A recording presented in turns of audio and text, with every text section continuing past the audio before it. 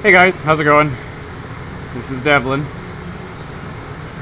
What we have here is a Miller CP250TS. It's originally a 1972 spray transfer welder that was made by Miller and branded by Airco back in the 70s when Miller did that.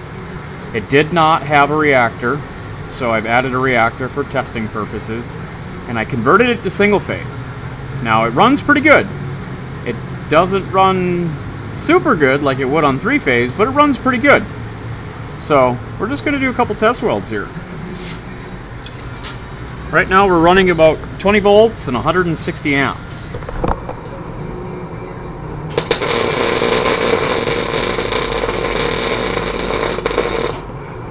That is entirely way too hot.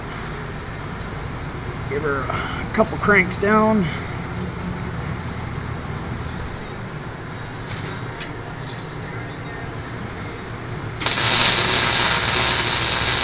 Nineteen and one fifty, one fifty-five.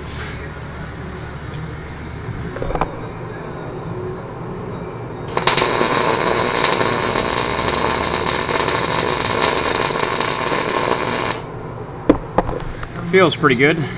It's a little poppy. Let's go up on the wire feed speed just a little bit.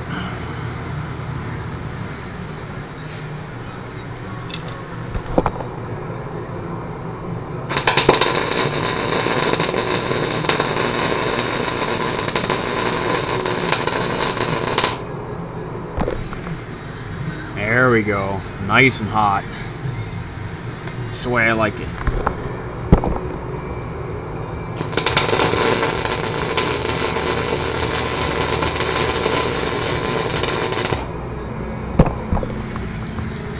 It's still kind of poppy, but penetrated most of the way through this quarter.